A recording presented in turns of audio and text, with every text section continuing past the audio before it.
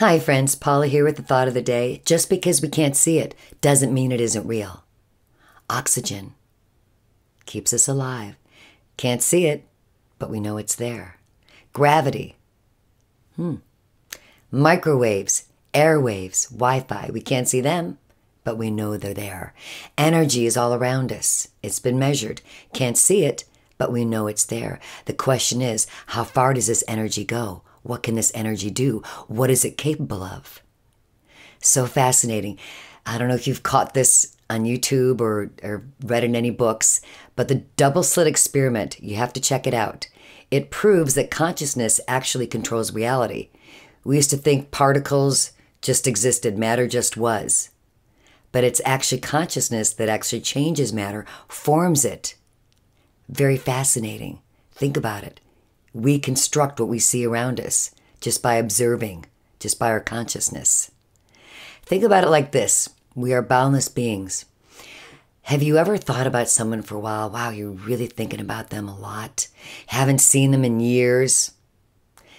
And then all of a sudden you get a phone call or a text from them out of the blue. And you're like, wow, I was just thinking about you. What is that? How far does the energy go? How far does our, our do our tentacles go? Fascinating. I would tell my yoga students, you know, we're not just this body that has a soul tucked inside of us. We're this boundless soul that has a body tucked somewhere right inside of us. Think about it in those terms. Very, very fascinating. And I have a, another special story that I have to share with you with this energy that is so fascinating and amazes me.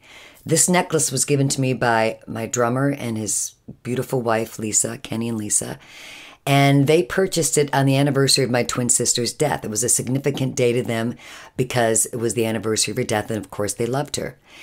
And they didn't realize until they got home the next day this beautiful necklace, very spiritual necklace, had my twin sister's name, Pam, on the back of it.